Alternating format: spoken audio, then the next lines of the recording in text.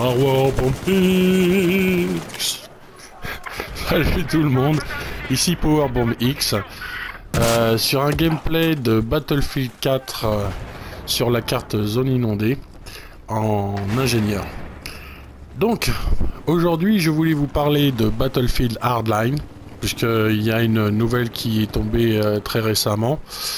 Battlefield Hardline ne sortira pas au mois d'octobre.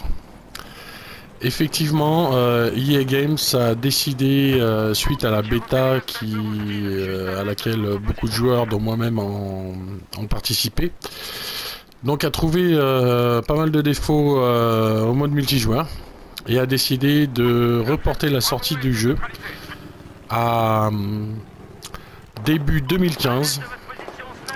donc pour, pour peaufiner le jeu, peaufiner le multijoueur, euh, réparer les erreurs et aussi euh, le mode solo.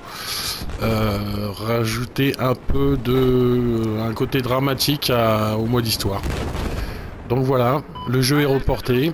Il va falloir patienter environ 5, 5 à 6 mois avant de pouvoir profiter de Battlefield Hardline alors en ce qui concerne BF4, euh, aujourd'hui je voulais pousser un, petit coup de gueule euh, qui est en rapport avec euh, la, capacité réelle des armements de Battlefield 4.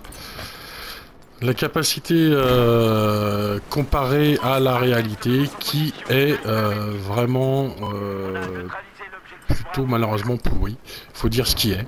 Alors pour cela je vais vous parler de trois voire 4 euh, quatre, armes. Euh, le missile Javelin, missile anti-char, le missile SA, Igla et le missile Stinger, euh, missile anti-aérien. Car je me suis renseigné, donc au niveau ayant été ayant fait mon service militaire et ayant été tireur au lance-roquettes anti-char. Euh, c'est pour ça que je, fais beaucoup d'ingénieurs d'ailleurs. Euh, je me suis renseigné sur la, réelle capacité des armements tels que le Javelin, le SAIGLA et le, donc, euh, le, missile Stinger. Donc à savoir, alors pour les roquettes classiques, moi je peux vous en parler, hein, comme, je, comme je vous ai dit, j'étais tireur au lance-roquettes anti-char. Euh, pendant mon service militaire. Euh, donc euh, le, SMO ou alors le, RPG en fait pénètre le blindage. Ce sont des armes à charge creuse et pénètre le blindage et provoque à l'intérieur du char une température de 5000 degrés, ce qui est énorme, énorme. Donc ça provoque une température de 5000 degrés. Du coup, ça fait exploser toutes les munitions du char qui sont à l'intérieur et le char explose. Maintenant, les chars ont, des, des, protections actives. Euh, telles que les telles que sur le, que sur le T90 où vous pouvez voir des tablettes des espèces de tablettes de chocolat qui se trouve sur les côtés du char et euh, sur le côté de la tourelle. Alors euh, ces tablettes de chocolat ne, sont rien de moins que des explosifs qui font que quand vous tirez par exemple avec une roquette euh, un RPG, le RPG atteint ces fameuses tablettes de chocolat et explose son, et. Donc c'est ce qui épargne en fait le blindage du char. Euh, donc ce n'est pas le cas pour tous les véhicules, euh, bien sûr BF4, puisqu'ils n'ont pas tous, euh, ils n'ont pas tous de protection active. donc par rapport au missile Javelin, les protections actives ne fonctionnent pas, étant donné que le missile Javelin fait des tirs verticaux. Alors bon, je me suis renseigné, j'ai été voir des vidéos sur YouTube sur des tests réels. Et je me suis aperçu donc qu'en fait le missile javelin pouvait aussi bien faire des tirs, euh, des tirs horizontaux, donc des tirs directs, que des tirs verticaux. Alors à savoir quand, euh, quand un javelin euh, fait un tir vertical sur un T90, hein, les protections actives ne servent à rien, puisque le missile vient par le haut et qu'au niveau du haut de la tourelle il n'y a a pas de protection active.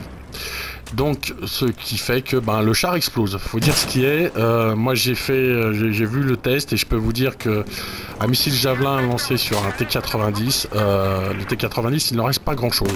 Et cela en un seul tir. Alors ce qu'il faut savoir aussi, c'est que la portée, du, la portée du javelin est bien supérieure à celle du javelin de BF4. Parce que la portée réelle d'un javelin est de 2500 mètres, soit 2 km 5.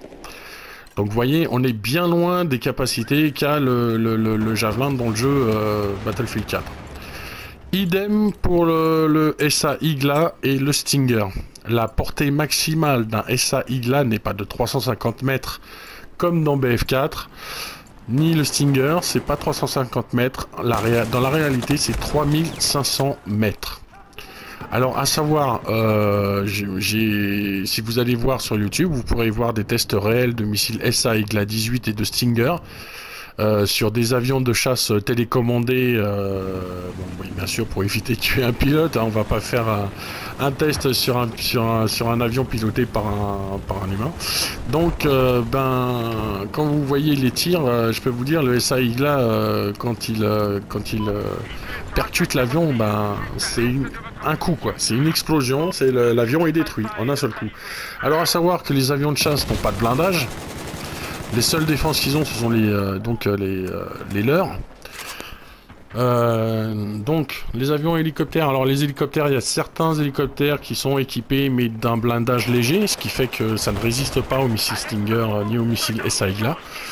Donc, normalement, si, les, si, si DICE avait bien fait les choses, on devrait pouvoir dégommer un avion de chasse ou bien un hélicoptère à partir du moment où il n'a pas utilisé ses leurs sur une distance de 3500 mètres, ce qui n'est pas le cas, puisque la plupart du temps, euh, vous devez attendre que, l'avion ou l'hélicoptère s'approche à 350 mètres, et là vous balancez, vous êtes obligé de, de, faire au moins 2 à 3 tirs de suite si vous voulez détruire euh, l'hélicoptère ou l'avion, ce qui n'est pas le cas dans la réalité, puisque vous pouvez dégommer euh, un avion de chasse ou bien un hélicoptère avec un seul missile. Idem pour le javelin. Bon, alors en ce qui concerne le char, par contre, euh, M1 Abrams, c'est assez particulier parce qu'il euh, y a certains chars qui ont des, protections actives, mais d'autres pas. Alors il faut savoir que la formule euh, de l'alliage du char M1 Abrams est top secrète. Pourquoi? Parce que c'est un alliage très performant, très résistant. Donc, euh, mais si vous balancez un missile javelin, euh, à partir du moment où le missile javelin fait un tir vertical, il y a peu de chances que le char, euh, puisse continuer. à mon avis, il explose. donc voilà, c'était pour pousser ce coup de gueule sur, la mauvaise gestion des réelles capacités de, de l'armement qui est proposé dans Battlefield 4. Euh, et je dois dire, ça a été, euh, ça a été vraiment bâclé, mais ce, ce n'est pas seulement euh, dans Battlefield 4, hein, on retrouve ce problème aussi dans COD, dans les Call of Duty. Et donc, il, serait, il serait bien que ben, DICE ou les, les, les, développeurs qui font des FPS fassent un bon étalonnage des armes afin qu'on puisse avoir, euh, quelque chose qui soit plus proche de la réalité. Voilà. Alors je vais aussi vous parler du missile euh, Cornet, qui est un missile russe qui peut aussi... Euh, alors on trouve en général sur les cartes, ce sont des, lance-missiles fixes que, que l'on trouve sur les cartes multijoueurs. Alors il y en a deux sortes, il y a les missiles TOW TOW, qui sont des missiles américains, et le missile Cornet, qui est un missile russe.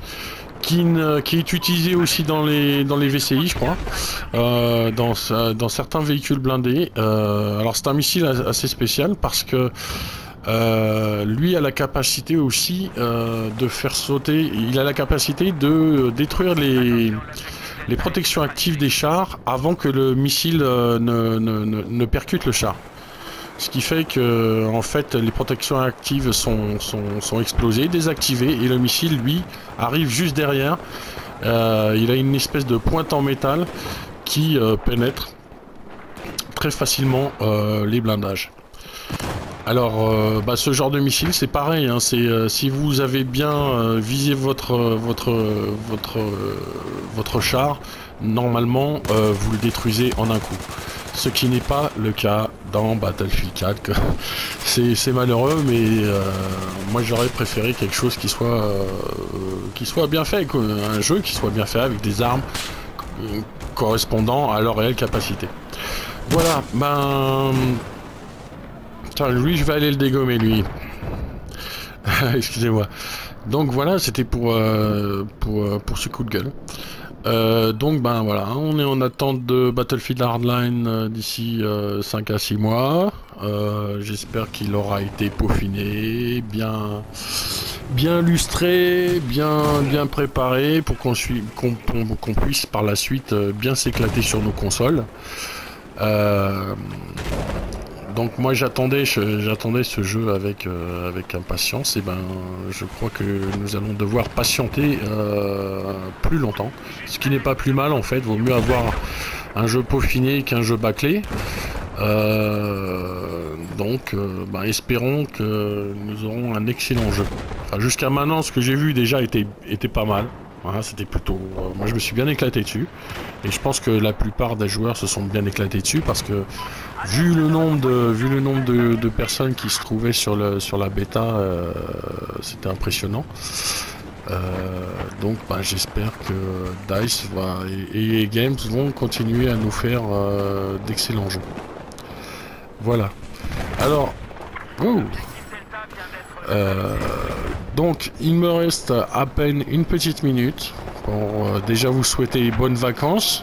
Pour remercier tous les abonnés qui se sont euh, abonnés à ma chaîne depuis, euh, depuis quelques mois. Euh, je vois les chiffres tous les jours grimper un peu plus et ça me fait le plus grand plaisir.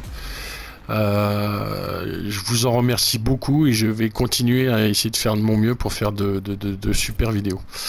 Voilà, et eh bien je vais vous laisser parce qu'il me reste à peine une vingtaine de secondes. Donc je vous souhaite bonnes vacances, éclatez-vous bien sur vos consoles. Et puis, euh, ben, n'hésitez pas à faire du bronzage aussi. Allez, ciao, ciao, à la prochaine. Salut.